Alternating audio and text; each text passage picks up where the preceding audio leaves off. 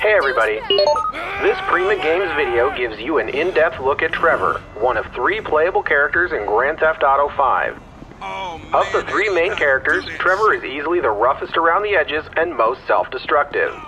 When switching to him from Franklin or Michael, you will often find him in his underwear or getting into some sort of trouble.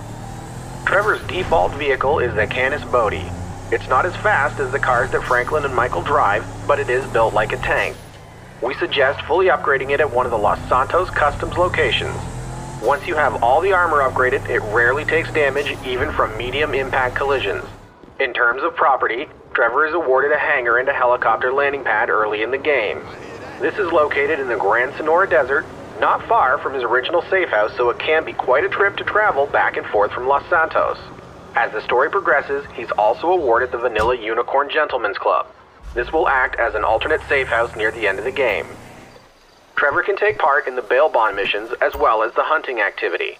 The bail bond missions are triggered by visiting Maude, just down the road from Trevor's original safe house. She will show up as a question mark on your map. In total, there are four bail bond missions. Trevor can also take part in the hunting activity. In order to unlock this activity, you must complete the missions, target practice, and fair game.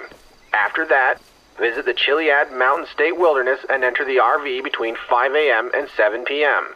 For every elk that Trevor takes down, he can send a picture to Cletus for a small reward. There you have it, a look at Trevor, the loyal yet volatile character from Grand Theft Auto 5. For more information, be sure to visit www.primagames.com. If you're on Twitter, give at Primagames a follow. If you prefer Facebook, like us at www.facebook.com slash primagames.